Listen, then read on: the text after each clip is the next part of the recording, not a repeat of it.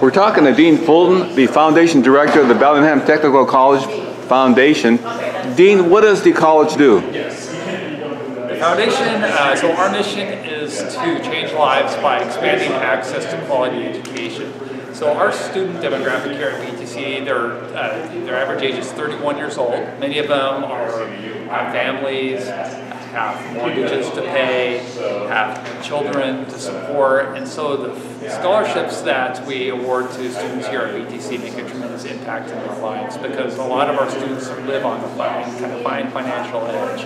And so a thousand dollar scholarship here to our students at BTC often is the difference between them coming to the college or not coming to college and it makes a huge impact on their lives. And so our job as a foundation is to work with individuals, businesses, civic organizations, clubs, foundations in order to provide scholarships to our students so they can come to BTC, stay at BTC, graduate and turn to our regional workforce. And how many students do you have here? Uh, quarter to quarter, we typically have about 3,000 students on our campus at any given time. It's a beautiful campus. It is. It's uh, kind of a hidden gem. It's tucked up um, uh, a little bit out of the way. Uh, to come to our campus, you have to kind of intentionally come to visit. You don't just kind of pass by the campus and look at it. You have to kind of be on a mission to come here. But when people do arrive, they find it to be a welcoming campus environment, a lot of uh, interesting buildings to look at, lots of interesting art to look at, and it's a great place to come walk around. Now, Linda Rawls is here presenting a check to you from the Fourth Corner Elites Car Club. How much are we presenting, Linda? We have $2,000 to give to you guys today, whether you give it to one student or split it up, it's up to you guys. Wonderful, wonderful. And we have several uh, members of the car club that have gone here to this college?